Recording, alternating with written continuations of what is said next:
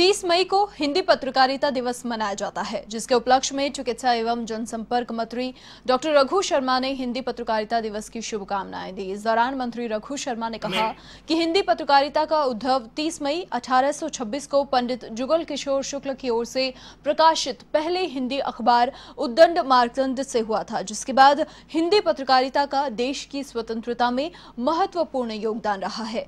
वहीं आज भी पत्रकार देश की जनता को सही जानकारी देकर देश के निर्माण में उल्लेखनीय काम कर रहे हैं।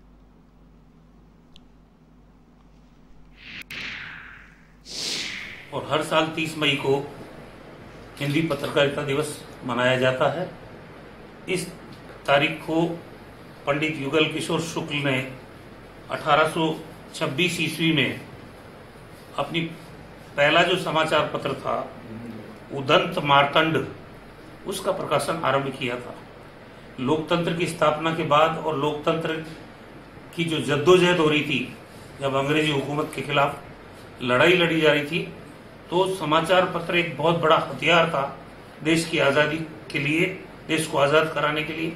हमारे जो महान स्वतंत्रता सेनानी थे, वो भी अपनी लेखनी के माध्यम से स्वतंत्रता आंदोलन को मज़बूत करने, लोगों में जन जागृति पैदा करने का काम करते थे कलम के धनी लोग। आज भी जब आज़ादी के बाद समाचार पत्रों की जो भूमिका है, वो इस लोकतंत्र को महफूज रखने की रही है।